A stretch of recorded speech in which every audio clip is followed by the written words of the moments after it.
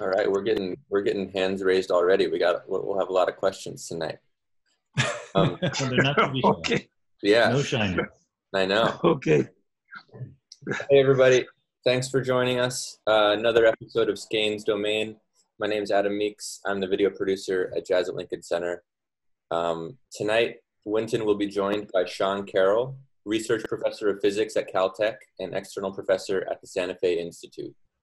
Sean is a theoretical physicist specializing in quantum mechanics, gravitation, cosmology, statistical mechanics, and foundations of physics. And we're thrilled to have him tonight. Um, later on in the hour, we'll get to questions for Wynton and Sean, and I'll remind everybody on how to do that once we get to that point, although it seems like everyone already knows because they're lining up. Um, that's uh, all I have for the front end. So, Wynton, I'll hand it off to you. All right. Thank you very much, Adam. Thank you all for joining us again, Skain's Domain. Each week we gather to discuss matters significant and trivial. The more trivial a subject, the more intensity we bring uh, to the to the discussion. And we feature a multitude of different voices, uh, so far. But tonight I'm joined by an extremely special guest. You heard a lot of his pedigree, but he has a book that's uh, just come out. It's entitled "Something Deeply Hidden: Quantum Worlds and the Emergence of Space-Time" with an exclamation point. He also has a podcast called Mindscape, and he interviews smart people. Uh, sometimes some some are smarter than others. I was on it. I don't know how I got on it, but it's about interesting ideas with all types of ranging topics and subjects. He is also a lover of jazz and of progressive rock. He is a friend of Chicago greats like Buddy Guy and the late Von Freeman and the pianist singer Patricia Barber. And he started loving the jazz musicians he knew and went on to all the musicians who were known through recordings like Trane and Miles and, and Mingus. He said he really loves Duke, so his taste is impeccable. He also loves Emerson, Lake and Palmer, and Yes, and Genesis, and Cream, and a, a, the host of rock bands that was populated at that time with musicians who really could play.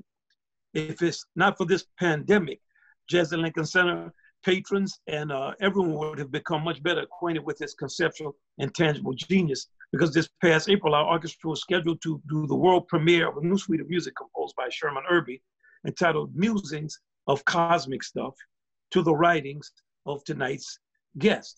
As it is, we hope to share this work with all of you as soon as the circumstances allow. In the meantime, I'm uh, I've invited him to join us. I'm so happy that he's come this evening because he is a captivating speaker and he knows how to make these important connections for us. Um, I expect that we're going to all come away with this, with, from this, with some good conversation material with friends we're trying to impress, as well as some new insights and perspectives that we can use to nourish our souls and our minds and spirits. I know I plan on it. Please welcome the fantastic Dr. Sean Carroll. Wynton, thanks so much. Thank you, Ben. Um, I'm going to start with the Thelonious Monk. He said that all musicians are subconsciously mathematicians. So I want to know, does your does your expertise and knowledge of math and science and physics affect the way you hear a piece of music? Yeah, you know, I think it can't help but but hear that, right? I mean, science, mm-hmm. math, these are ways of looking at the world, ways of figuring out certain kinds of perspectives to take, questions to ask we all know, you know, as soon as you see the time signature and it says four four or seven eighths or whatever, there's math there already, right? In music, so there's there's math in the rhythm, there's math in the pitch and the tone. There's there's there's math in how the different notes compare to each other. You know, you have 12 notes in the scale, and we pick out some of them to make the major scale. And why is that? Why do we pick out some notes to make a major scale and different notes to make a minor scale? Well, math is the answer, roughly speaking. You know, certain frequencies beat against each other in pleasant ways. Certain frequencies kind of work together to make us a little more somber. So I can listen to music without my math hat on. You know, I can listen, I can just get into it, I can just enjoy it, I can lose myself. But knowing the math, it's like Richard Feynman, my predecessor at Caltech, he said, anyone can look at a rose and enjoy the beauty of the rose a scientist can look at the rose and enjoy the beauty and know where it came from and why it's reflecting certain kinds of light and stuff like that. So it's not that you need math to understand music, but it gives you a little bit of a way of thinking about it. Mm-hmm. So do you find yourself like if you if you're listening to, to a piece, do you find yourself trying to figure out what the form is or how many bars it is? I know I had the chance to check out some South Indian music, and my friend, the friend that I was with, was counting it for me. Man, I didn't know where I was. So, I, and when he was counting I could kind of follow it. But he'd get to a certain point, then he would say, "Okay, you count it," and I would be like, count with my hands the way they do, and I was absolutely lost. I would say, "Is that it?" He would say, "No." so do you do you find yourself thinking about the the forms in those ways, or do you just kind of allow your spatial intelligence to? What, what's your no, I mean, I think I'm you there, except I'm sure that I'm nowhere near as, as good as you. Like, there's a famous story about Albert Einstein, who used to love to play the violin, and he became famous, Einstein, right? So he could hang out with anyone, and he hung out with a professional violin player. And at one point, they were playing the violin together, and the violin player says, "You know, Professor Einstein, don't you understand anything about time?" and that's you know in some ways he understood more about time than anyone else in the world but that doesn't mean you're good at counting so i'll try like i'll listen i'll, I'll definitely like if i notice you know if i'm listening to uh, dave brubeck right time mm-hmm. out i love trying to figure out what time signature the different pieces are in and stuff like that uh-huh, uh-huh. uh, but you know my my music theory and knowledge is, is still pretty amateur I, I, I love it i'm truly amateur in the sense of someone who loves something mm-hmm. Great. Well, I want you to make some of these connections for us, uh, uh, Doctor. So, you know, a musician, if you, when you when you improvise and you play solos, you're thinking of of, a macro form like a, the the head, the, the number of courses you're going to play, who solo before you, who solos after you. You have macro objectives, where you want to go with your solo, how you want to build things, how you want to break them down, what is the rhythm section playing. Then you have very micro objectives, the notes you're going to hit, when you're going to bend a note or scoop it, what's each harmony as it passes, uh, all the kind of little details. And if you're writing a piece, you might write a long piece, an hour to hour and a half long or something. You write out the entire macro outline and everything you do. But when it comes down to it, you have to put a dot and dash over every note. So I know you think about huge spaces and, and unbelievable volumes, but you also are master of the quantum world. How do you conceive of macro and micro? Yeah, no, when I think like this is the question. I, I love in your intro how you said, you know, we, we're most passionate when we talk about the trivial things. So today we're going to be completely chill because these are some of the biggest, most important ideas you can talk about. Uh, in the science context, what you're talking about, the relationship between micro and macro, goes under the label of emergence. We, we think that there's a way of talking about the universe that is entirely micro right? Like you and I, the world, the universe, the stars and the galaxies, we could, if we wanted to, just say, look, this is just a bunch of particles, quarks, leptons, photons. They're obeying the laws of physics, and we basically know what the most important laws of physics are for the universe we see around us. So we can just say, that's it, that's that's the universe. But we'd be missing out on so much if we did that, right? That, that's sort of called the naive reductionistic way of looking at things, just breaking them down to the pieces and saying that's all there is. Because that's not all there is, right? Like if you can say, you can look at a star or you can look at a table and say, that's a star, that's a table. You've already told me an enormous amount about that object without telling me anything about what its atoms are doing, what its particles are doing. Mm-hmm. Someone can describe a piece of music to you. They can say, "Oh, that's very melancholy," or you know, they can say it's in a major key or it's in a certain time signature. They haven't told you any of the notes, right? But they've given you important pieces of information. So this is actually not only a fascinating and important subject for scientists, it's one we don't understand very well. What is the relationship between the macro and the micro? We know they're both there we can talk about atoms we can talk about in your body we can talk about molecules we can talk about cells we can talk about organs we can talk about people species but mm-hmm. how they relate to each other is a tough one and furthermore how they come together you know there's something there's two things going on this is a good little distinction to draw when you write a piece of music it's top down right? There's your brain is thinking, your your musical sense is thinking like, you know, what notes should go here, blah blah blah blah blah. It's very clearly from you to the music.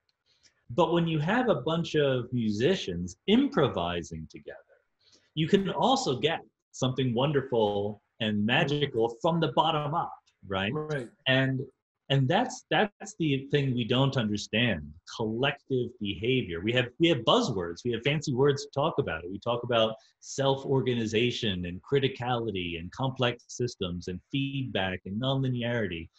Uh, there's a lot. Like like like i warned you like if you want to like call it a day and just have six hours of discussion about this we could do that. But you put your finger on something really really important. Yeah i do. I want to i want you to expand on this uh, on the concept of the, of the difference between the individual hero and collective action, just because we have a tendency to be uh, in our culture very individualistic, whereas our Constitution is designed to be balance of power and kind of the use of reason.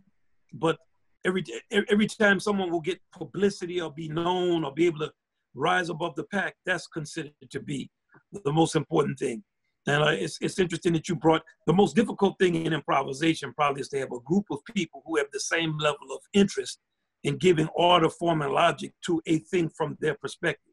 So I know you, but just from your studies of the universe and the tendencies of things, we talked about entropy before and just the tendency of things to become random. I want to I want to just get a sense of what you think about what it takes to to make form come together from a seeming random thing of four or five people get on a bandstand what does it what can you can you relate uh, the the anti forces non-entropic forces or forces that are are going against the tendency of things to to to to become random? Yeah no again hugely important great question. And it's all about time. We'll get we'll get into time later but it's all about being dynamical and flowing and changing. It's not a static thing. So here's a little story I like to tell. Uh, entropy for people out there who have not yet read my books. I don't know what you're spending your time not that many of them. not that many, right? Uh, entropy is a way of talking about how messy, how disorderly, how uh, random and disorganized things are, right? So the classic example is take cream and pour it very gently on top of a cup of coffee it's low entropy. All the cream's on top, all the entropy's on the bottom. And if you mix it, then it becomes high entropy. It's, it's messy, right? Everything is everywhere else. But, but here's the thing simple versus complex is different from low entropy versus high entropy. When you were just just cream on the top, just coffee on the bottom, that was very simple. And when it was all mixed together, it's simple again. It's all mixed together, right? But in between, on the journey from being simple to simple, then it becomes complex. You know, there's swirls of cream and coffee mixing with each other. There's these beautiful patterns that form. And it's much like a piece of music that sort of, you know, you start with silence, you build up, things happen, and then you go back to silence again. And so I, I like to think of it as saying, you know, entropy is not your enemy. Entropy is your friend. The fact uh-huh. that entropy is increasing isn't the thing we're fighting against it's the thing we're taking advantage of. We're making use of that. When when those musicians come in to you know not quite plan out ahead of time what they're going to do let it be spontaneous and in the moment you know letting their ego be pushed down and you know their creativity come up um, they need entropy. You need some loosey goosiness right? You need some disorganization to make that happen. You want to you want to take advantage of that and make something really special Mm-hmm. So in that way, it, it, it, functions like defense in sports or, or the, or the lines of delineation or something that makes you have to strive for something. Yeah, there's some constraints, you know, there's some things you can do. Uh, we, the, the good news is uh, there's a law of physics, the second law of thermodynamics. It says that entropy increases until you hit maximum entropy and everything is dead in a closed system, in a system that doesn't interact with the rest of the universe. But we do interact with the rest of the universe. We eat food. We go outside. We have the sun in the sky, right? We talk to each other. We interact with other people. That's what gives us this ability to keep going and to not reach maximum entropy. Hmm. So I want to ask you a question now. It's, it's interesting to hear you talk, talk about that, the interactions we have with people, because uh, we, we imagine who, who are not in your field, we imagine that just the, the lonely hours and the hours of intense thought that it takes to, to address very complex subjects, quantum physics, quantum mechanics, entropy, uh, quantum entanglement, just all of these terms in the math equations will drive us crazy. We look at it, a blackboard full of these these these equations, and we we think of a lot of time spent alone. So I want to ask you a question about about theoretical things that are theoretical, because in music we also have a very beautiful relationship to our theory. You can have in music theoretical concepts and theoretical writings that are very profound and interesting to study as, as theory. But when you hear the music, it's virtually unlistenable. Uh, is there an equivalence to be found in theoretical mathematics and in, in, in, physics where you could, can look, could you look at an equation and think, man, this is a beautiful equation. I can't wait. And then when you actually get down to it, it's like, hmm. yeah, we sadly we have exactly that. In fact, the joke in in science is uh, a beautiful theory is often killed by an ugly fact. Uh, the thing that we want, we need that in our politics. yeah, well, there's that. Facts are killing more ugly things. You know, the thing that we want, our goal in science, is to correctly capture some part of the world, some part of the behavior and the essence of reality. Whereas in music or in art, you know, we have different goals. We're trying to move people, make them think, connect with them at a deep level. But either way, there's some standard for success, right? You've succeeded or you haven't. And separately from that, there are different standards for, you know, you can be classified as, you know, a theory can be beautiful or elegant or sort of irresistible, but wrong if it doesn't fit the data. And you're too polite to say this, but it works for people too, right? There are people who are proficient, okay, who are good at, you know, they play really fast or they can play really uh, intricately. There's scientists who are really good at pushing around equations, solving mathematical formulas, and so forth. But when it, push comes to shove, you have to perform on the stage or actually come up with a theory that is correctly describing the world something's not there, right? Something's not quite working. It's not it's not quite there. So the the subtext here is that people do fall in love with the math, with the beauty, with the elegance of it. I mean, there's a long line of physicists throughout history who've said really dopey things about how a certain theory is so beautiful it can't possibly be wrong right? That's like saying a certain piece of uh, music is constructed in such an elegant way that it's going to sound good when you play it, right. but not. But that's just not how it works. And, and what, what we find by doing science is that very often beautiful ideas are true. There, there is some relationship. We're lucky enough to live in a universe where reality is very beautiful and elegant in some way. And likewise, a good musician or a good composer who is very technically proficient can create truly beautiful things. But that's not the point. Mm-hmm. It's a tool you use to get to the point, right? And and knowing the difference. Sometimes you can get a little bit lost uh, in the math. A, a, colleague of mine, Sabine Hossenfelder, just wrote a book, a physicist. Uh, the the English title was called "Lost in Math," for more or less this reason. You know, you, you can, you can forget, you can take your eyes off the prize sometimes, whether it's in physics or in math. So when you when you say take your eyes off eyes off the prize, what is the prize? The prize is understanding the real world. so you know, look, I'll, I'll, give you a very explicit example, and I'm not, and this is you know, let me let me give you two examples, three, two or three examples, because some things we we're finished with, we know what the answer is, and some things are still works in progress, right? Um, Johannes Kepler was a brilliant astronomer. He was the first one to say planets don't go in circles around the sun, they go in ellipses, right? They come closer and they go further away. Brilliant mathematical uh, step forward. But he was also kind of mystical about it. And he thought that there was some underlying theory of geometry that explained all this and explained why there were exactly five planets but you know, now we know the planets don't move exactly in ellipses, and that there are not five planets. so he just fell in love. He he made a big contribution, but he fell in love with um, the steps along the way, and it sort of uh, guided him in the wrong direction. Einstein, very famously, uh, tried very, very hard to unify the forces of nature uh, later in his career, and he didn't succeed. You know, he he sort of had become detached from, and I'm a huge fan of Einstein. Right. I think underrated, if anything, honestly. Right. Mm-hmm. Um, he was just brilliant and insightful in every way. So when you say that, but he did kind of putter along there for the last years of his life, uh, playing with equations in a way that didn't really match up. And these days, of course, we, we work in progress. We have string theory, super string theory. Uh, this very famous idea, a lot of publicity from Brian Greene at Columbia, right there in, in New York City.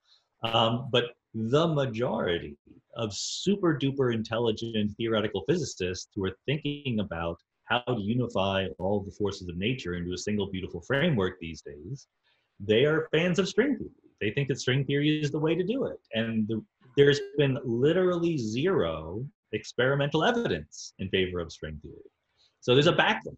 There's people who are saying, look, what are you doing? You're wasting your time. You that's where lost in math comes from. You, you're just, you know, so absorbed by the technical beauty of what you're doing You've taken your eyes off the prize. You've forgotten that your job is to describe the world.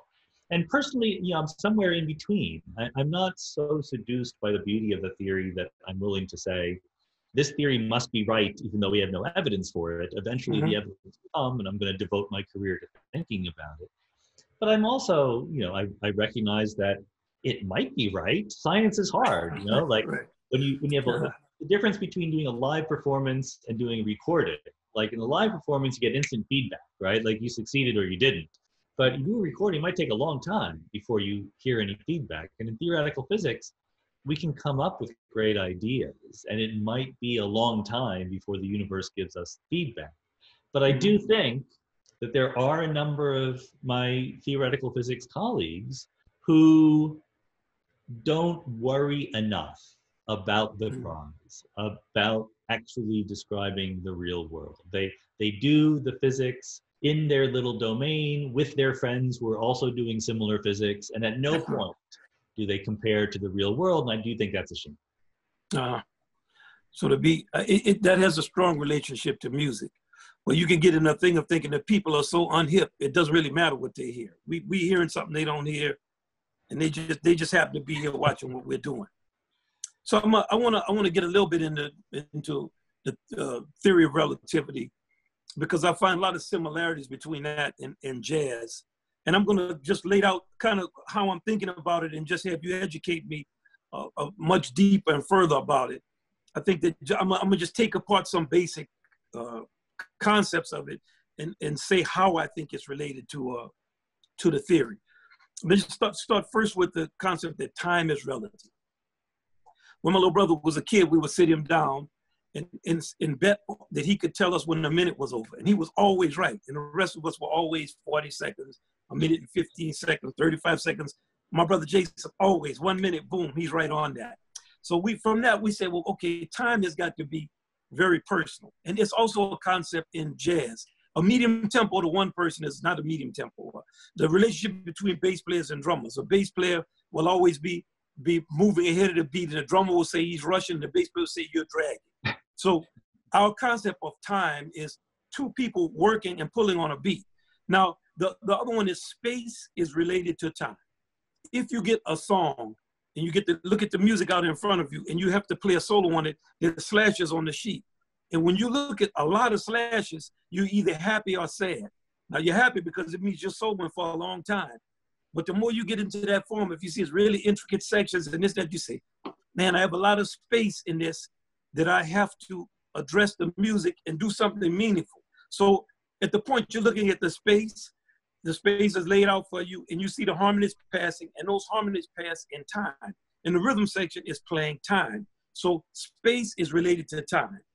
To time is relative, space is related to time. You're trying to play in time and other musicians are playing what they think is time. You're looking at space and they're looking at space. So how would you take those concepts just in terms of, and I'm gonna get into some more kind of concepts of how things are relative to each other and, and the effect of mass and other things. But I just want to get get get our get, get our audience to just kind of understand those concepts as it relates to music.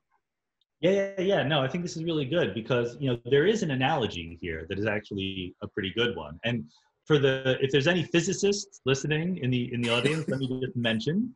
Uh, it's an analogy, okay? Like when you say his brother is a metronome. Thank you. You don't mean he's literally a metronome, right? You say he's right. like a metronome. There's some similarity there, right? So the right. musicians playing in, in, an ensemble. That's a lot like relativity in a lot of ways. And, and the way that I like to think about it is um, Einstein comes along and says that time and space are part of space time, part of one together four dimensional thing, like you say. So what is that? What, what is that supposed to mean, right? Well, I think what it means is in space, you literally space is where we live, right? It's the, it's the directions around us where we can travel. And if mm-hmm. two people leave New York and drive to Los Angeles, but they take different routes, you know, one goes north, one goes south, or whatever, one cuts across somehow, one gets in an airplane, just flies. Uh, their beginning point and their ending point is the same. They left New York and they arrived in Los Angeles. But that doesn't mean they traveled the same distance, right? It depends on right. how they moved. You know, if you mm-hmm. zoom around in different directions a lot, you can start at the same point, end at the same point, but do a lot of traveling, right? Travel a lot of distance. Time doesn't seem that way to us at first glance. It seems that time is the same for everybody, right? Like uh, the ticks on our watches should be the same no matter what we do. And Einstein says, actually, no.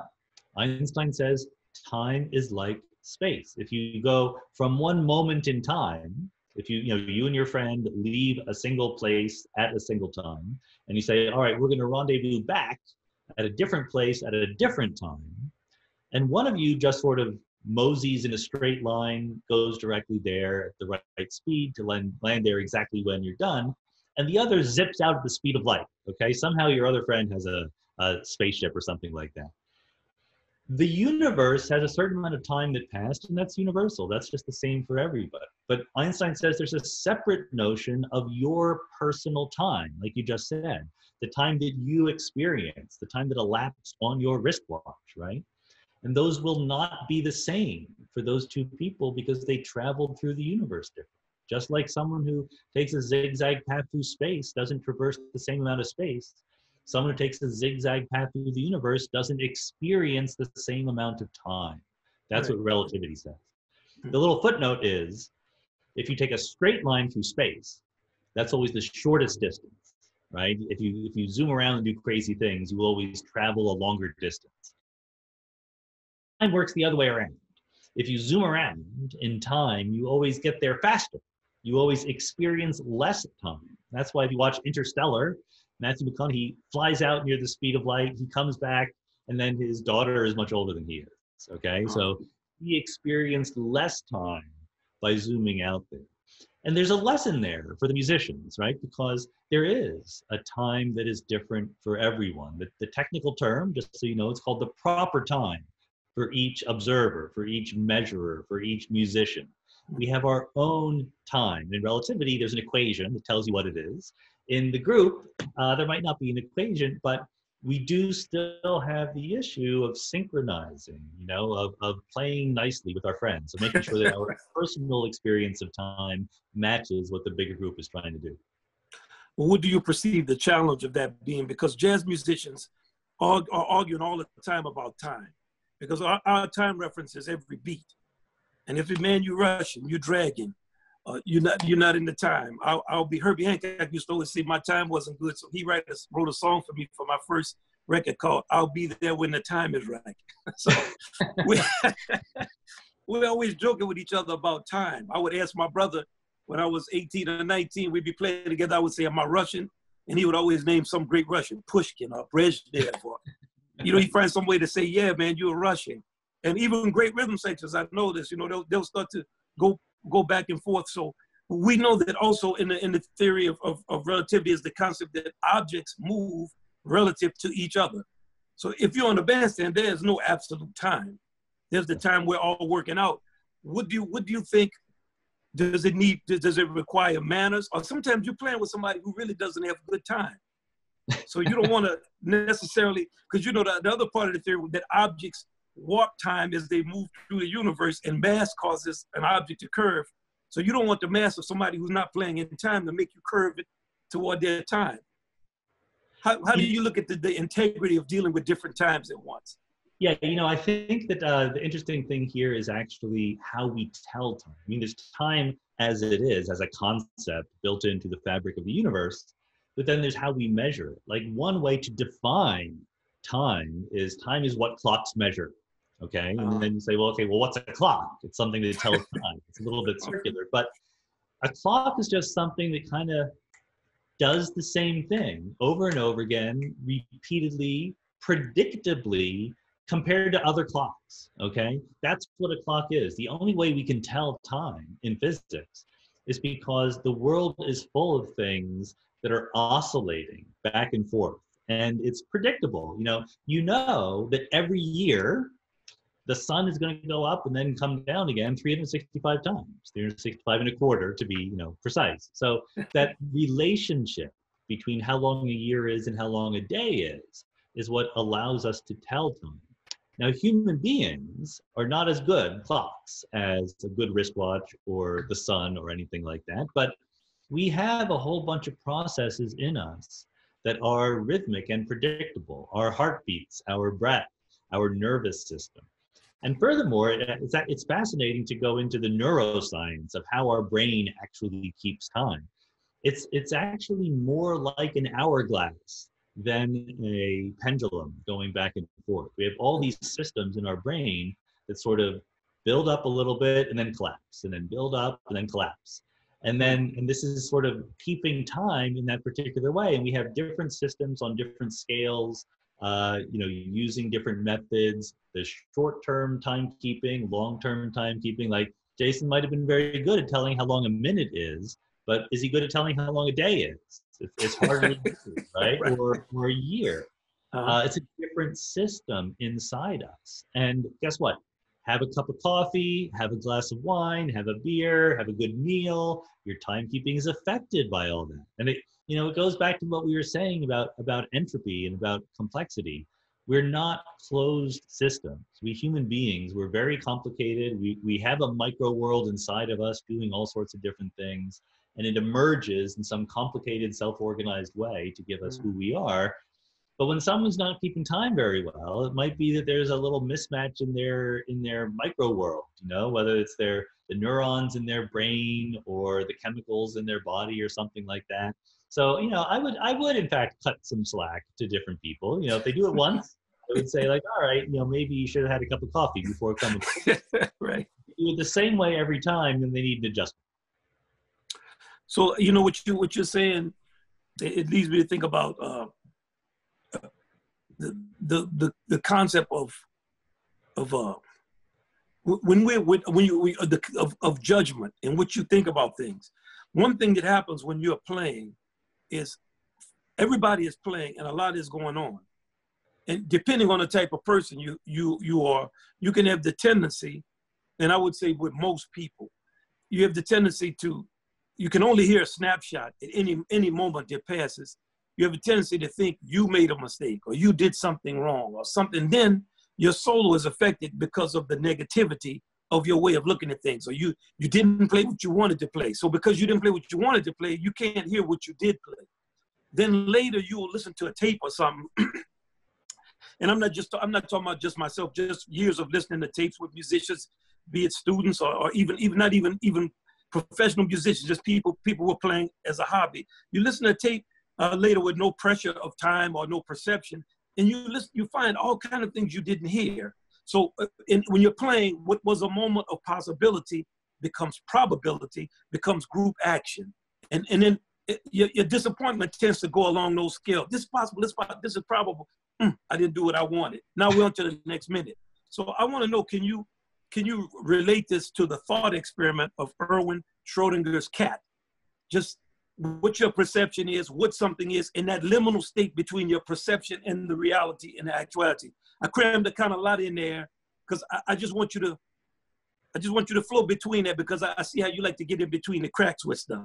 yeah, there's a lot in there, but that's okay. In fact, let me let me uh, separate out two separate things. One is, um, you know, obviously when you're literally playing in real time and it's all going on around you, uh, there's certain issues you have to face. Like you don't get to like call timeout and say, "Let me think about what note to play next," right? You know, you got to go with it in the moment. Whereas when you're doing science, you do get to sort of, you know, when you're trying to think of a new theory of how the universe began or what the dark matter is, you can take your time, as as it were. But I think you know the important similarity there, just psychologically, is that you have to be able to take a risk and fail. And there's many, many people who don't like that. You know, well, they don't like it when other people take risks and fail. Let, us put it that way. You know, uh, and and that's not just. It's not like. I mean, it sounds bad. Like people criticize you if you take a risk and fail. What I mean is, we don't know all the answers, right? We're not done with science, with physics. Uh, we're trying to do better. We're trying to learn new things. So you have to be a little speculative. You have to like stick your neck out a little bit. You have to have a crazy idea now and again. Mm-hmm. And the old wise people who are your heroes, right? They they've heard all the crazy ideas before, and they know why they're wrong, and they can just tell you in an instant, "Oh, here's why that won't work," and they're usually right. but they're right. not always. right. And you know, I've had good ideas, and I've right. gone to, I mean, half-baked ideas, not serious ideas, but I've gone to people I admire and said, like, what, what's wrong with this idea? And they told me what was wrong with it. And I said, ah, I guess that's right. And I forgot about it. And then two years later, someone publishes a paper with a brilliant idea because I wasn't smart enough to see why my famous right. older mentor was wrong. So there's absolutely this give and take of taking a risk. Usually risks fail. Sometimes they lead you someplace wonderful and new, and that is that's great. So you, even though you know that most risks fail, you mm-hmm. have to create space where they're allowed to happen and the failure is okay and, and you move on, right? Now, quantum mechanics is a good analogy for this, and that's where Schrodinger's cat comes in. And again, analogy time, but you know, but uh, here's here's quantum mechanics. You know, quantum mechanics comes along in the early 20th century. I would I would absolutely say that quantum mechanics is the most impressive accomplishment in human intellectual history in any field because not only is it an incredibly successful, so far undefeated theory of how the world works, but it's also completely bizarre and crazy, right? Like no one would have invented this. Like it's not that impressive to get a good theory of the world that in retrospect to go, oh yeah, sure, that that makes sense now that you say it. Whereas quantum mechanics came on the scene almost 100 years ago and we still don't understand it, right? Hmm. But it works. That's, mm-hmm. that's just the, the, the weird, crazy thing. And one of the things it says is, let's imagine you can observe something, like you can observe where an electron is, a little tiny particle, okay? Uh, it says, even though when you observe it, you always see it somewhere, when you're not observing it, it's spread out all over not equally all over, but there's sort of a cloud of probability that says, well, it's likely to be here when you look at it. It's unlikely to be over there, but it's still possible it could be over there. And this is called a superposition of all the different places the electron could be. And the idea, the idea is really, really hard to swallow, but it, but is correct, is that it's not that we don't know where the electron is. It's not that it's somewhere, but we just are not sure. It's that it literally isn't anywhere until we observe it, and then it comes into existence. And the equation that governs this cloud of probability was invented by Erwin Schrödinger, who's a famous uh, quantum physicist, but he didn't mean it. he didn't, you know, he invented the equation, but he didn't realize at the time that the way we would start thinking about that equation was as a way to calculate probabilities of things. He thought that was just a step too far. And this idea that things really were in superpositions before you looked at them, and then they weren't after you looked at them, that just seemed a little nuts. It still seems a little nuts to us today, so I don't blame him. But what he did was he invented this thought experiment, the Schrodinger's cat thought experiment, uh, to show you and himself how crazy it was. So you can have a little nucleus of an atom, and it's going to decay. Okay, like we have a Geiger counter, we can put it next to some uranium or something, and we can detect the nuclei decaying in this substance. What quantum mechanics says is that until the Geiger counter detects it, it's not that it has decayed or not decayed, it's a superposition of both. It only becomes decayed or not decayed once you observe it. So Schrodinger says, fine, I'm going to hook my Geiger counter up to a hammer that will hit and break a vial with poisonous gas and it's all set up inside a box with a cat. And what you're telling me is, Schrodinger says, what you're telling me is, until I observe, until I open the box and look at the cat, the cat is neither alive nor dead. if you know if the Geiger counter does not click, the cat's alive and it's fine. If the Geiger counter does click, the hammer breaks the vial, the poisonous gas fills the box, and the cat dies. And we might say classically, classical mechanics is what we had before quantum mechanics. We might say, well, we don't know whether the cat is alive or dead. But according to Schrodinger, quantum mechanics says it's not that we don't know, it's that the cat is in a superposition of both being alive and being dead. That's the reality of it. That's not just a way of characterizing our ignorance. That's what is actually going on until you open it, and then boom, it's one specific possibility. So I think, sorry, long-winded explanation, but I think no, that's that, not. Yeah, I mean, I think that it comes into the the music because what happens is, you know, in the moment when we're playing, when you're improvising, there's a lot of things that can happen in the future. Like the past is more or less fixed. That, that's what I was getting ready to say. That's right. We don't. We might not be able to remember it, but we can't change it either, right? Like, oh yeah. From the audience, like you could decide right now.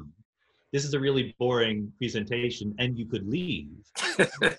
decide not to have come to the presentation, right? You can't make a decision now that affects the past.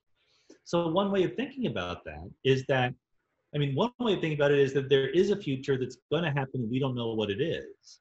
Another way of thinking about it, using the analogy, is that all the futures are there. And we have to figure out which one we're going to bring into existence by observing things in certain ways, by acting in certain ways. So, I mean, not only jazz, but my, my usual metaphor for this is playing poker. Uh-huh. When you don't know what the next card's going to be, you don't know what your opponent has. All you know is what your cards are. And you can't make the classic mistake of guessing, oh, that person must have a pair of tens. Uh-huh. you have to say, oh, there's a whole set of possibilities that they could have, and you have to take them all seriously. And you have to do your part to steer them in the right direction. But until the future arrives, all those possibilities are real. That's that. Well, that's great. I, I'm interested in what in that in that liminal state. Yeah. Because when you're playing, you're always in that state like you're never in the state of, even when you play something, it's like you're saying you have a, a particle could be in many positions. and that you, you're looking, so a lot of times people play, they're looking up here. Like Dizzy told me, he asked Louis Armstrong, what are you looking for when you look up there, Pops? He said, I don't know, uh, Brother Diz, but I always find it. so, you're looking up there and it's, I could do this, this could happen or that. And somebody plays idea and this. So it's literally, it could be anything in every moment and then you start playing it, and then once it's, it's that, everybody says it's this, and then it's something else. So you're always in the state between the cat. It could be one thing or it could be another, and then we're always reaching that point.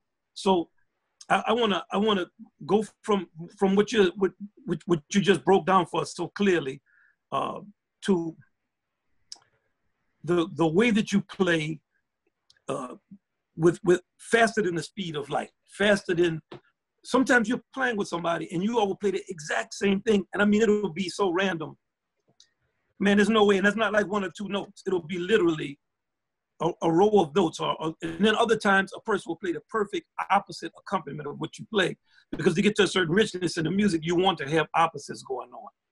And I want I want to, to, to talk about horn players. We sometimes we play together I remember Walter Blanding and I worked on a record and we were trying to play with each other so hard. We're just looking at each other playing these horn parts. And we're trying to anticipate everything that we're playing and swell into notes and build. And we're trying to improvise on the parts while we're playing. And we're trying to come together and surf the murky waves of the present, past, and to create a moment of the future that we can grab. So in the, to what you were saying on a bandstand, you don't know how quick other decisions are going to be made. And sometimes they fit perfectly statement, counter statement. How can you relate that for me to the, the first thing I asked you when I met you, I was interested in, in to quantum entanglement. Can you, can you break that down for us and show us how it could perhaps be related to things we do when we, when, when we improvise? Yeah, I mean, I absolutely can. Now, I, I just because I'm, you know, a licensed practitioner here, I have to be careful and say it is not quantum entanglement that has jazz musicians playing similar things or opposite things. It's an analogy, okay? Right. Fine. Right. But the thing is, I love analogies. I think analogies are absolutely brilliant. You know, I do a lot of uh, consulting for Hollywood movies. You know, I consulted on Thor and the Avengers, and people are saying like, "What? Where's the physics in these superhero movies? what is that?" Well, you can be inspired by ideas mm. in real science to talk about fake science like they do in the movies. And likewise, the idea of quantum entanglement, it's just so deep, so resonant, and so different from what most of us experience in our everyday lives. It's an incredibly source, uh, incredibly rich source of understanding things that we do come across in our everyday lives. The idea of entanglement is, you know, we said um, we might not know where an electron is. It's worse than that. We the electron actually is in a combination of everywhere. Okay. It's not that we don't know, but it has some position. It's in a superposition of all the different possibilities. So imagine you have a particle that decays into two particles back to back. Okay, so this is something that happens all the time. We discovered this particle called the Higgs boson in 2012. All the time, the Higgs boson decays in a, in a snap. The particles always go back to back because the you know the Higgs is sitting there, it's stationary, it's not moving, it has no momentum, no velocity. So it must be that the two particles it, it dissolves into are going back to back. So they have a net zero motion. But we don't know where either one of them is going. You know, that the usually the, the Higgs will just decay into a particle going anywhere. If you say, well, if I detect one particle, what is the probability it's going in one direction or another direction? It's anything. It's equal probability it's going in any direction. And the same thing for the other particle. So you know that these two particles are completely unpredictable. But if you observe one of them, if you measure one of them, you instantly know where the other one's going because it had to be going in the opposite direction. Wherever the first one's going, the other is opposite. That's because they're entangled. And that it can be true even if you wait a million years. Like you let these particles move apart forever and you detect one of them, the other one is halfway across the galaxy.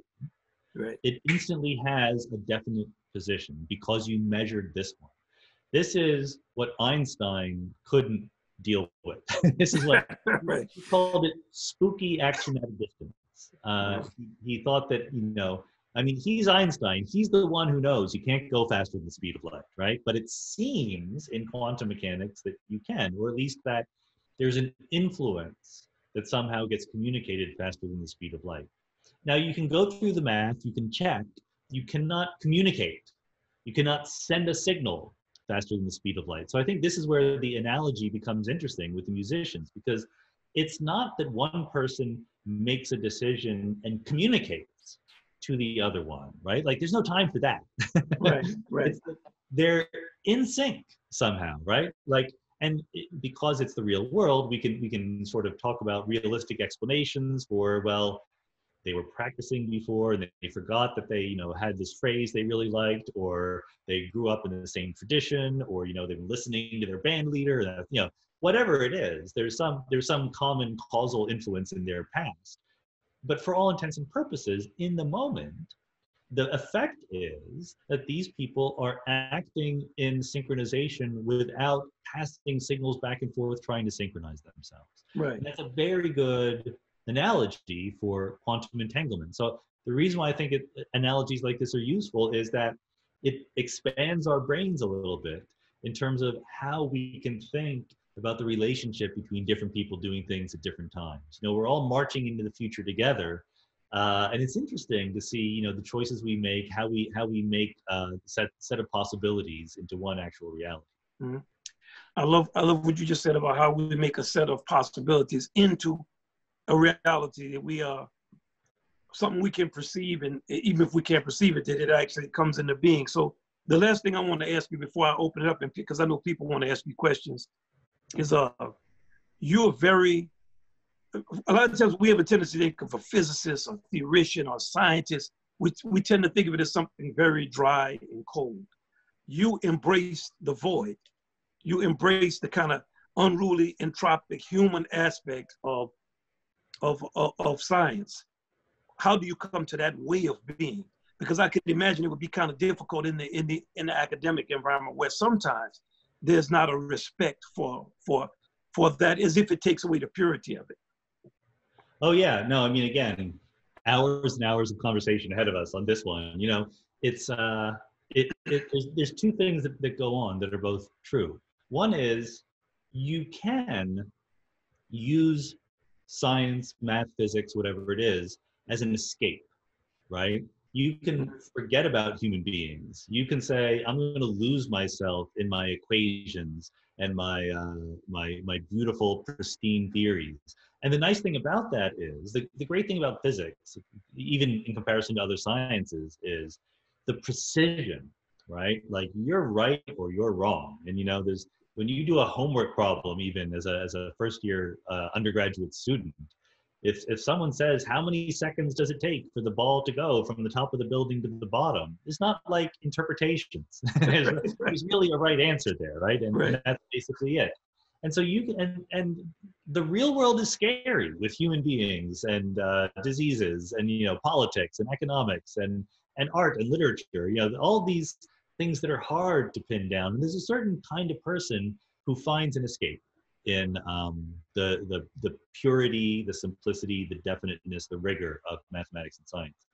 On the other hand, the, the flip side of this is, um, you know, the people, my friends who are who are professional physicists, these are smart cookies, right? Like they mm-hmm. had a lot of education, they got a lot of IQ points. They could be making a lot more money doing something else, right? You know, they could they could be very successful trading on Wall Street or being investment or whatever. Um, but the only reason why the thing that they would choose to do is theoretical physics or theoretical whatever or observational whatever experimental physics is because they are passionate about finding out how the world works right mm-hmm. you know, many of us myself included you know i got hooked when i was 10 years old and i was reading about the big bang black holes and i, I had no idea what it meant to do that for a living, right? Like there was no one in my family who did anything like that. No one I knew did anything like that for a living, but I knew that's what I wanted to do. Like the idea that the human mind could take in little pieces of data from experiments and from that extrapolate to something true across the universe mm. is just amazing. And it, it's it's absolutely part of the passionate artistic side of human beings that that brings that to life and you know the final thing that you that you sneaked in there was different people will uh, react to their passions differently right and i'm sure this is true in music just as, as in as in science or academia um, you're passionate about what you do. Also you gotta earn a living. You gotta put food on the table right? And again like being a professional musician getting a job that pays you money as a professional physicist is enormously hard. If you get a PhD from the California Institute of Technology, where I am, you know, a top five physics institution, uh, almost everyone who gets a PhD in physics from Caltech would like to be a professor. Maybe 25% of them will become uh, tenured professors. And many more wanted to come to Caltech and you know and, and couldn't make right, it. It's right. a it's an absolute narrowing right, of the pipeline. So if you have some crazy ideas, if you have some idiosyncratic ways of doing things, uh, it's a balance. You have to decide, you know, how much to let your freak flag fly and how much to uh, think about what other people, you know, care about. Like I was, one of the reasons why I was lucky is because my crazy ideas have come later in life. when I was young, I was like, I was really like legitimately, uh, earnestly into the same ideas as everyone else, right? Uh-huh. And so I could do that, and I was very happy doing it, and people liked it that I did it. And these uh-huh. days, like the last ten years of you know my career, I'm like, you know, I'm, I think that this kind of thing that I'm doing is stuck. I don't I don't see a lot of forward motion. I gotta be bolder. I have to be more right. dramatic. I have to think outside the box. I have to be a little crazy, shake things up a little bit. Uh, and yeah, people don't like that as much. You know, like if, if it works, they'll say, Oh yes, I knew all along that was gonna work. But along the way, you know, hard to get money, it's hard to get attention, it's hard to get people to read your papers, etc. Um, but I love it. So right. I'm gonna do it. And you know, why, why would I be doing this if I didn't love it? Right.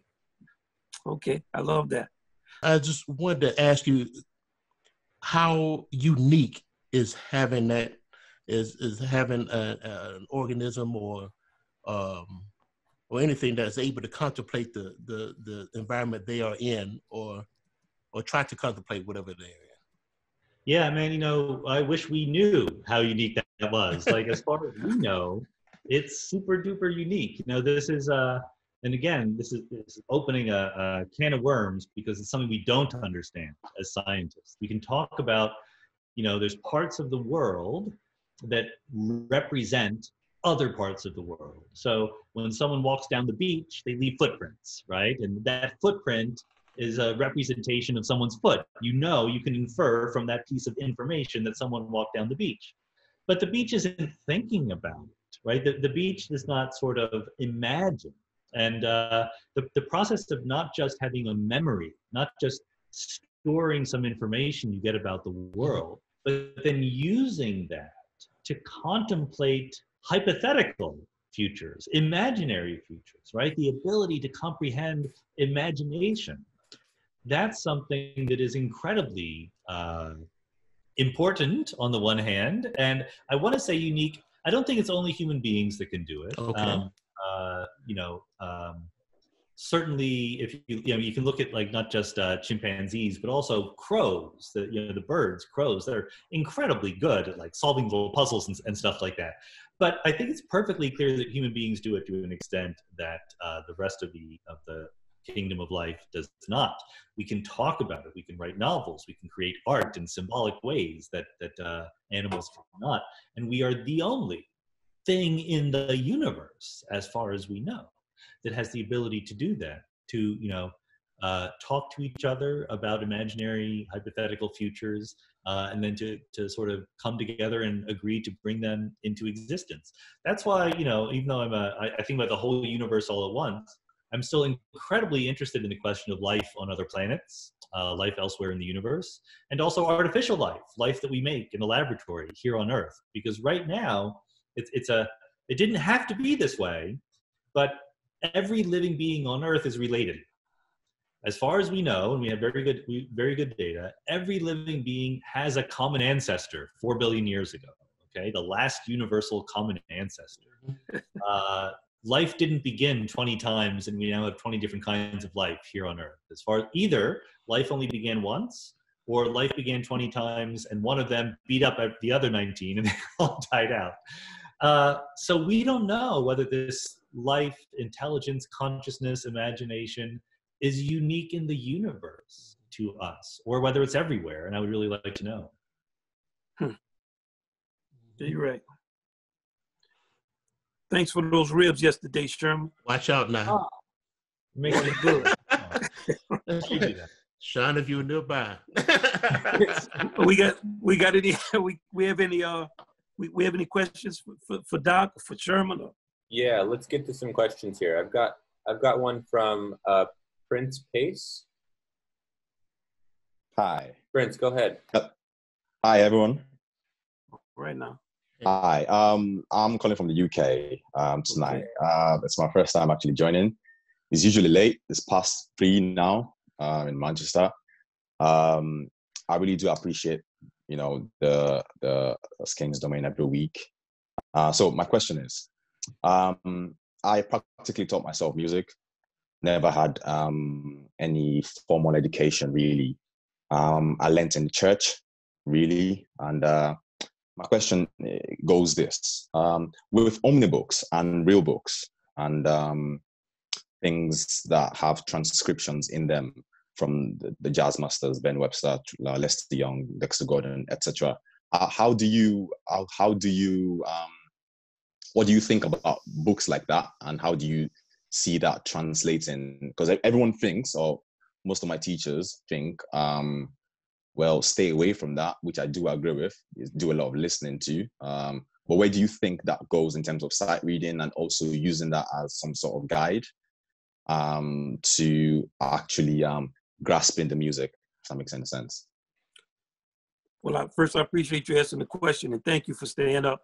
I'm gonna give you a short answer and then I'm gonna, I'm gonna kick it kick it over to Doc and he can, can, can give you something. And then Sherman, because Sherman and I may think very differently about it. Um, I, am not a fan of that kind of of that kind of thing until later. I think after you can hear things, it's good to read them and look at them and work on your hearing. But to learn how to play, there's so many nuances that are not in a sheet of music. A sheet of music is like one dimensional. So you want to be two dimensional with your hearing, and three, four, five with things that you're going to notice. Uh, that's just how I look at it. But I'm going to relate it to when when uh, when Sean said he started being interested in the universe and black holes and the Big Bang. He said he started with the Big Bang. I don't know if it was related to books. It was like a passion for that. And I think the passion is expressed in the ideas, but I'm to let him kind of go into when you when you're starting to do something, what does he think is more valuable to be guided by uh, that type of information or to follow your your way? Oh yeah, I mean, you have to be in between, right? Like, isn't it? That's just the obvious answer. You can't be one side or the other. You, you, the, the so I'm not only a physicist, but I'm also a writer. You know, I write books, I write articles a lot, and uh, the the what writers tell each other is learn the rules so you can break them right? Figure out what the great people did so you can do it slightly differently not so you can do that right? You don't want to do the same thing that einstein did if you're a physicist. You don't want to write the same way jane austen did if you're a novelist but you want to understand how they did it. And then you who are unique and bring something to it you might go well i can I would do it slightly differently, and maybe that opens something up. You know, I'm a big believer that uh, as much as I love the human power of imagination, it's nothing compared to the experience of reality. like our imagination just doesn't measure up to all the different things other people can think of and the universe can throw at us. Oh, so you know, I, I, like Wynton's, you know, he, he gave a little caution there, like later maybe you know think carefully about what the greats have done and so forth when you have a little bit of self knowledge of, of where you're coming from but it you know don't dismiss it like get yeah try your best to figure out what they did because they might have some tricks up their sleeves there's a reason why they were the greats yeah yeah i wasn't talking about it the greats like don't know what they did i was saying learn them by hearing yeah i was mm. speaking speaking more of a method but I understand what Sean is saying. Definitely, like both of both methods, you don't have to choose. Like somebody says soul or feet or intellect. But we human beings, we have both. But Sherman has a lot of interesting ways he looks at stuff, and a lot of times we, you know, we we don't have the same perspective. But he comes to great uh, conclusions. Sometimes I'm, I'm struggling with a voicing or something. I'll call Sherman I'll send him a, a, a, passage and he will orchestrate it and I'll study his orchestration and how he came to things. And he has a very mm-hmm. unique way of, uh, of looking at music and hearing it. So we're going to see what Sherm thinks about what you what you're saying. I, mean, I think all all of that is true. All of what you all said was true. I I, I feel that you know with, with books and things like that, uh, written out transcriptions. I'm not a big fan of transcriptions. That's that's just my thing. I like studying songs instead of studying hmm. solos. Uh, but when I do study a solo, I'm looking at forms. I'm looking at how uh, first how the song was put together, how the solo was put together, what they what did they do, you know, in order to play a certain kind of line on top of or whatever the harmonic change was. I study those things. I look at the macrocosm, then I come back and look at the whole picture. Uh, the Charlie Parker Omnibook, I did, you know, like any saxophone player, especially alto players, we worked through it. Uh, I'm glad that I never tried to really memorize the solos. Uh, mm. For me, it was more, okay, why did he do what he did? You know, it's just always that question for me is why? Why does this work? Then I figure out why it works. And then how can I do it in a way that I want to do it? Uh, and then when I figure out what the formula is, I can input my own stuff into it. It's almost like uh, I was working with my daughter on a math today, and she looks at it, and it's just so big. It's just so much stuff. It's a full page things of all these different formulas and things. I said, wait, wait, wait, wait, wait. Look at the formula. Understand the formula. V equals this times this times this. Okay? Just stop right there. Just contemplate that. Then add in your your uh, the numbers that you need to add in, and it becomes very simple. It's un- it's not as confusing at that point when you really just start to come up and understand what the formulas are, and then you put in your own stuff in it. That's that's what works for me. Right, right, right. So, sorry, sorry to um, ask a follow up question in, in that sense. So, how, how does that translate to um, when you are actually learning phrases uh, or learning passages of lines and making that come into your own music? Uh, is that sort of the same way you learn how they did it and make up your own stuff? Or do you just copy and kind of paste until you get the hang of it? well, everybody's method is different, but I, I tend to say do like a baby does. Mm. When a baby learns a language, they learn the general song of it, and then they fill it in. And uh, but we all have different ways, like what Sean was saying and what Sherman said. But I tend to think that if you be be be be comfortable being a baby for a little while. Mm-hmm. A lot of times we get to a certain age, we want to be able to do everything. Take your take your time and listen and use your ears and hear and uh imitate. And then you you'll start to hear things like if you want to learn another language.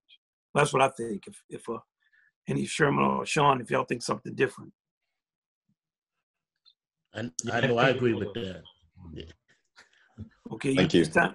You got to go to bed, man. It's three o'clock. That's right. Thank you very much. thank you. Thank you for staying up. We're very appreciative. Thank you. Thanks, Yes. Prince. Thank you. God bless. Good luck. Thank Good you. luck, man. Handle your business. All right, let's take another one. This one's coming from Antoine Dry. Antoine. Oh, Twine. Mhm. Hey, wow. Look out, Twine. There he is. Well, I kind of had my question before I really knew what was happening. So I'm hoping that I know I'm hoping that it that this can relate. But it, I, it, but actually, e- either way, it'll answer my it'll it'll help me. So even if it's not helpful to anybody, I'm sorry, but it, it'll help me. But my question is about algorithms and if they relate to I know they relate to math, but do they relate to time? And if so do they how do they relate to music especially improvised music and chord changes or even just composed music?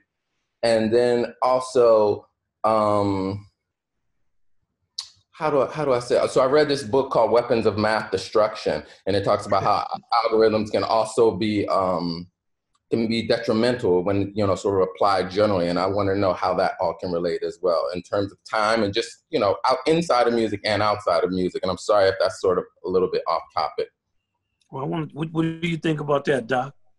No, I mean, I think uh, it, algorithms and time have a very intimate connection. I mean, there's a whole field of study uh, called computational complexity theory, where all they do is ask how long it takes a certain algorithm to run, right? Like if you, if you give it a 10 digit number, does it take 100 steps or a billion steps or whatever?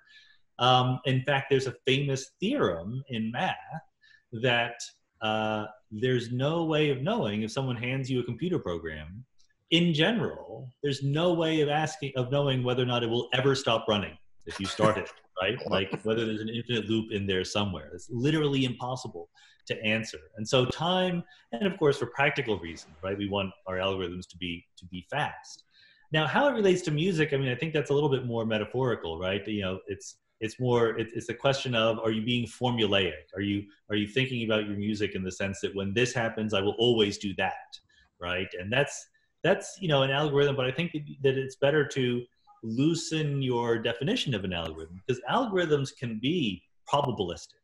Algorithms can be well when this happens 90% of the time we'll do this but 10% of the time we'll do something else right?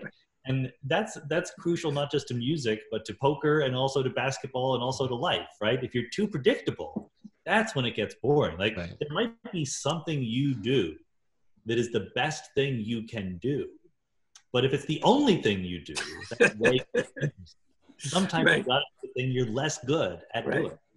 but the, does an algorithm can can an al, can an algorithm have many faces though like does it necessarily mean like you can be doing this like you can say like, like when you say the same thing like i can say i'm playing a c7 chord but i could play something totally different so does that how does that is that still like within an algorithm could it still be within an algorithm but be something different Yeah, absolutely. I mean, algorithms are very, very loose. Uh, uh, is a very, very loose idea. I mean, algorithm says something comes in and something goes out.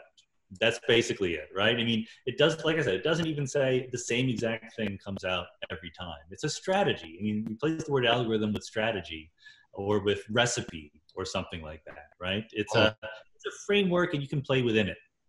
Right. Thank you, Twine. hmm Twas I.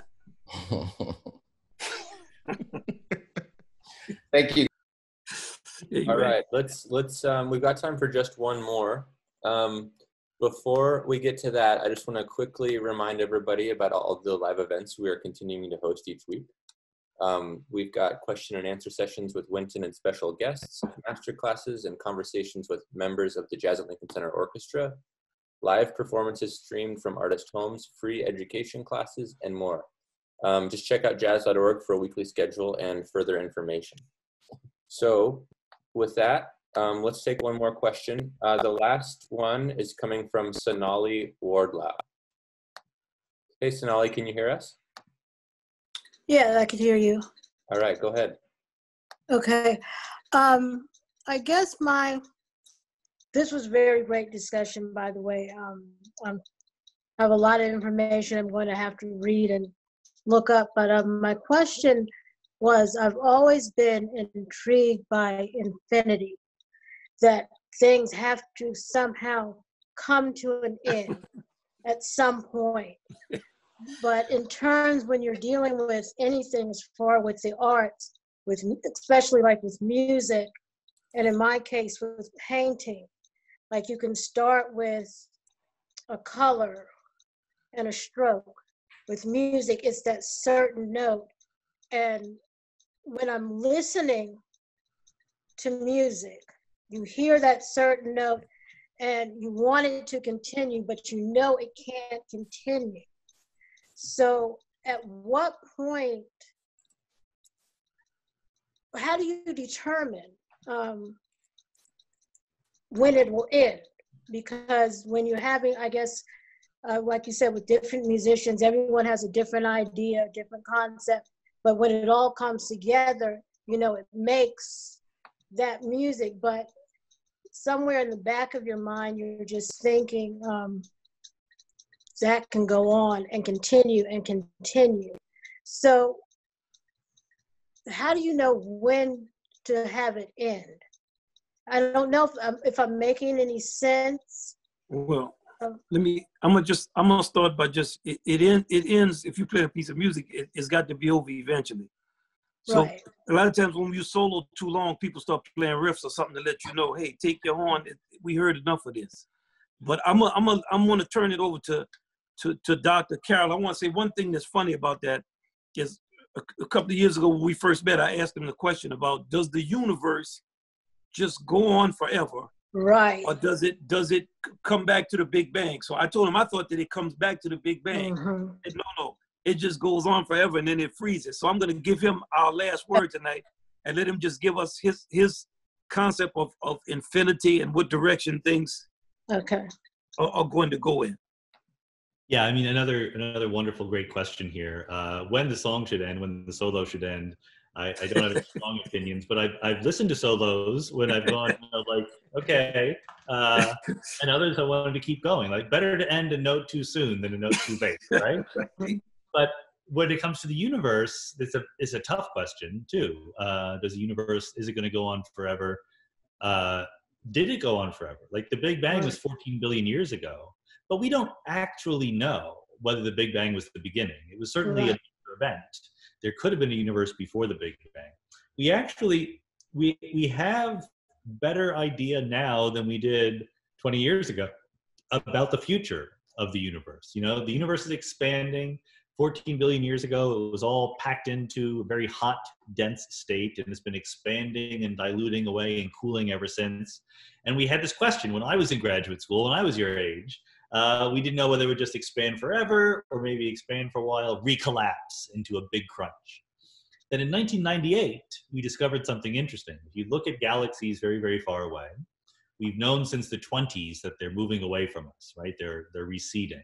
What we discovered in 1998 is that if you look at a galaxy, not only is it going away from you, but it's accelerating away from you. It's going away from you faster and faster. If you come back, you know, a year later or a million years later and measure its velocity again, it's increased its velocity away from you.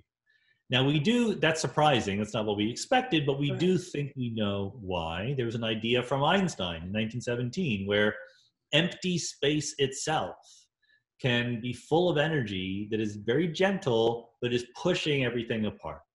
Mm. And if that's true, which 20 years later, 22 years later, that, that fits the data perfectly, um, it's never going to end. The universe will empty out. Uh, stars are shining now, they'll continue shining for trillions of years, but eventually, like a song, they will have to end. They will run out of fuel. Their entropy will hit the, the highest point. The universe will become dark. It will become everything is spread out, so it's it's very empty and it's very cold. Now, and that will last forever, for infinity years toward the future. Okay. That sounds depressing a little bit, but I like to I like to turn it around uh, the other way. Um, this moment in which we live is the interesting, fun part of the history of the universe. Our current epoch is the time when the universe is shining as brightly as it ever will, has more complexity and interest and stuff going on as it ever does. Uh, we live in the best time in the history of the universe. That gives us a little bit of responsibility to make it as good as we can. Amen. Okay. Thank you. Sonia, thank you. Yeah. Sherman, thank you. Yes, sir. Dr. Carroll, thank you so much for your time and your effort and your energy. Everybody who's on with us, thank you all so much for joining us. We hope you all enjoyed it. It's been thoroughly uh, enjoyable for me. I, I can't I can't wait, Sean, till we get together again, and I can't wait till you and Sherman till we do our thing in the hall next year Mhm. sometime. That sounds great. Can't wait. Yes, indeed. Man, thank you so much for spending your your some moments of your evening with us. Doc. My pleasure. Thanks for having me on, Wynton. This is a great You're series. Great, man. Fantastic. All right. Thanks, everybody. Take care. Thanks for joining us. Till we meet again. Bye bye, everybody. Bye bye. Bye.